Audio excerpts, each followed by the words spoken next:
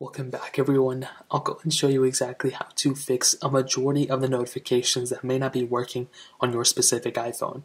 Now most of the time what this is is you'll basically have an app. It can be Snapchat, Instagram, Twitter, TikTok, any other app in the world and typically what happens here is that these apps typically just aren't allowed for notifications in your settings app. So all you want to do here is you want to open up your settings app just like so and you want to scroll down to either notifications or you can scroll down to your apps that are at the bottom.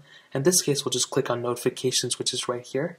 Now, once you click here, you'll pretty much see all the apps that you would typically have on your phone. So you can pretty much match these to all the other apps that you have on your device.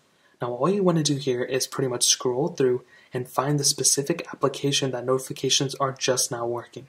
So let's just say in this specific case, I wanted notifications for Doodle Jump. Well, you can see if I click on it, I have notifications completely turned off for this specific application.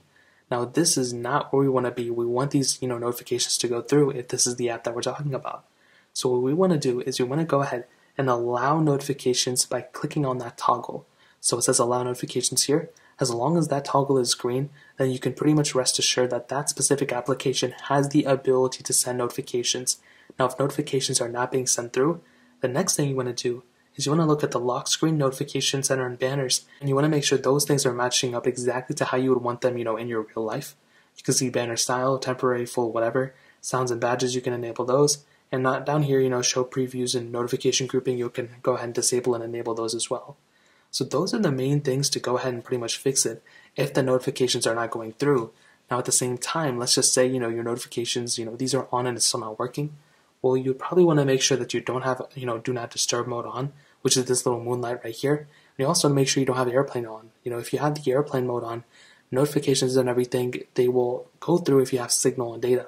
If you don't have those things, then you're not going to be able to do anything. So you want to make sure those are enabled as they normally would be. And that's essentially it. Those are the main ways to go ahead and fix it for the most part. If you guys have any other questions or anything, let me know in the comment section below. Hit the like button, that would mean so much, but definitely hit that subscribe button. More importantly than everything else, I love every single one of you guys. Hopefully I'll catch you guys in the next video. Peace out till then.